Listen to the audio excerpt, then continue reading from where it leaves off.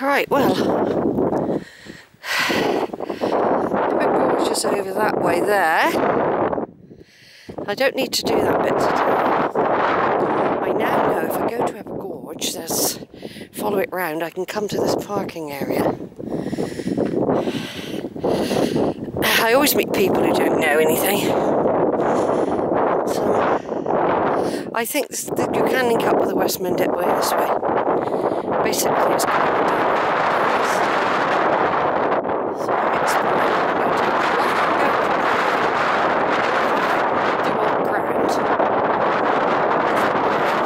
all ground. Let's do it.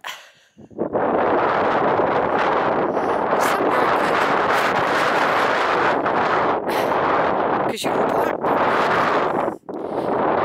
there. Then she could do a bit of a walk, see? There's probably a loop around it pretty from here. I, came all the way up down there a minute ago. Which I'm glad I did, otherwise you miss um, ancient monuments. You just follow the tracks all the never go off track, you miss a lot. So I came up a very steep hill.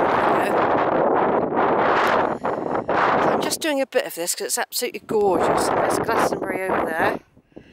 Lots of people up there parked up, see. And uh, there are a few cows back there. A few cows, hardy ones.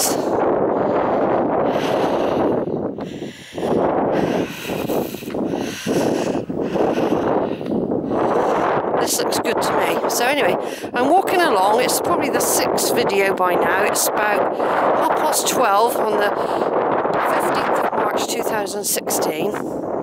It will be a bit jumpy, a bit windy, video. I'm doing it for posterity.